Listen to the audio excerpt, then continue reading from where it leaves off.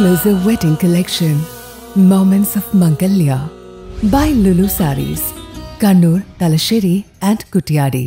വിജയദശമി ദിനത്തിൽ കുരുന്നുകൾക്ക് ആദ്യാക്ഷരം പകർന്നു നൽകി നിയമസഭാ speaker advocate N Shamseer Thalassery Illikkal കുന്നിലെ Hermann Gundert ബംഗ്ലാവിലാണ് സ്പീക്കർ കുരുന്നുകളെ എഴുത്തിനിരുത്തിയത്.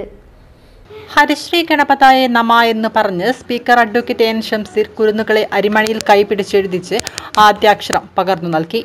തലശ്ശേരി ഡെസ്റ്റിനേഷൻ മാനേജ്മെന്റ് കൗൺസിലിന്റെ ആഭിമുഖ്യത്തിൽ ഇല്ലിക്കുന്നിലെ ഗുണ്ടർട്ട് സ്റ്റോറി ടെല്ലിംഗ് മ്യൂസിയത്തിലായിരുന്നു എഴുത്തിനിരുത്ത് നടന്നത്. തലശ്ശേരി സബ് കളക്ടർ കാർത്തിക് പാണിഗ്രഹി മാധ്യമപ്രവർത്തകൻ എം വി നികേഷ് കുമാർ എന്നിവരും കുട്ടികൾക്ക് ആദ്യാക്ഷരം പകർന്നു നൽകി. D T P C secretary J K Jijesh Kumar അധ്യക്ഷത വഹിച്ചു. Thalassery destination management council manager Jishnu Haridas സ്വാഗതം പറഞ്ഞു. പതിനഞ്ചോളം കുരുന്നുകൾ ആദ്യാക്ഷരം നുകർന്നു. അക്ഷരലോകത്തേക്ക് എത്തിയ കുരുന്നുകൾക്ക് സ്പീക്കർ ആശംസകൾ നേർന്നു. കുട്ടികൾക്ക് മധുരവും സമ്മാനവും നൽകി.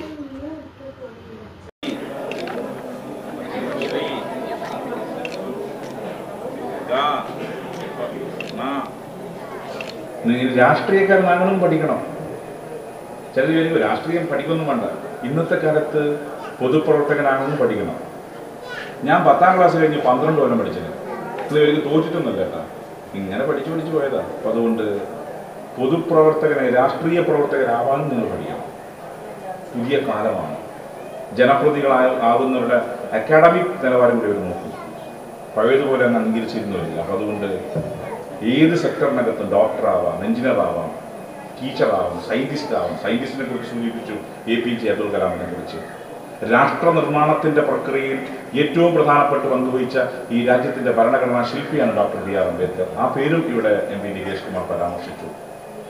ഈ രാഷ്ട്രത്തിന്റെ പ്രസിഡന്റായി മാറിയ കെ ആർ നാരായണന്റെ പേരും Shri K M P Nikesh Kumar പരാ ഇവരൊക്കെ ഉയർന്ന വിദ്യാഭ്യാസമുള്ളവരാണ് അപ്പോൾ വിദ്യാഭ്യാസത്തിന്റെ അക്ഷരം നിങ്ങൾ കുറിക്കുകയാണ്.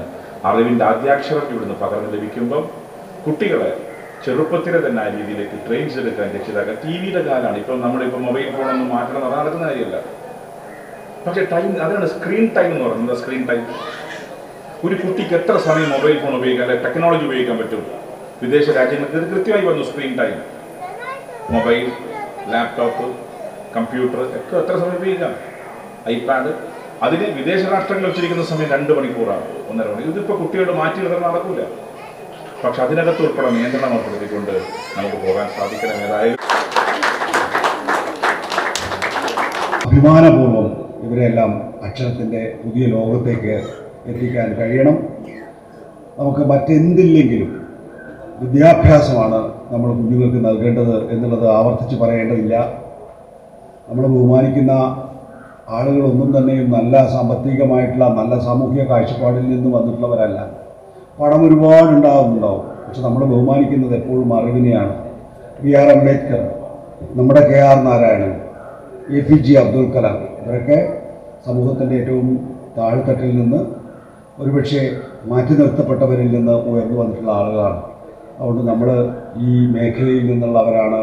നമ്മളൊരു സ്മോൾ ടൗൺ കുട്ടികളാണ് എന്നൊന്നും വിചാരിച്ച് നമുക്ക് സാധ്യതകൾ അടയുന്നില്ല എന്നുള്ളതാണ്. വലിയ സാധ്യതകളിലേക്ക് ഈ കുഞ്ഞുങ്ങളെ സുസ്വാഗതം ചെയ്തുകൊണ്ട് ഞാൻ